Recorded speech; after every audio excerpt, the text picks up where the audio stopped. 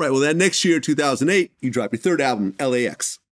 Yeah. Now, this debuted at number two on Billboard, but Billboard calls this the closest race for number one since they started tracking it in They cheated me with a with a with a country artist, I believe.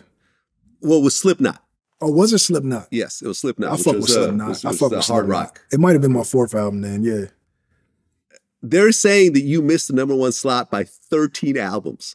Yeah, it was crazy. How crazy is It's- that? But see, so I basically number one because I can remember vividly buying 14 albums myself that day. Crazy. Crazy. Um, first single was Games Pain featuring Keyshia Cole. Second single was Dope Boys with uh, Travis Barker. And uh, now the the video, I guess, was too crazy for MTV to play it. Dope Boys. Yeah. Yeah, it has some coke in it.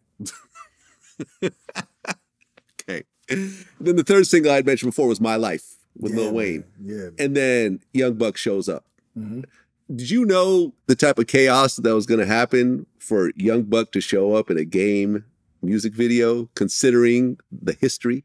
I wasn't really thinking about that because, like I said, Young Buck was solid, and me and him always retained our, you know, our camaraderie through whatever me and Fifty was going through. But that's just what happens when you real. It's kind of like when I was didn't want to go at Nas and Joe and, and and Kiss, and and not to go too far off subject, but I, I got next time I talk to Joe, I got to ask him like, you know.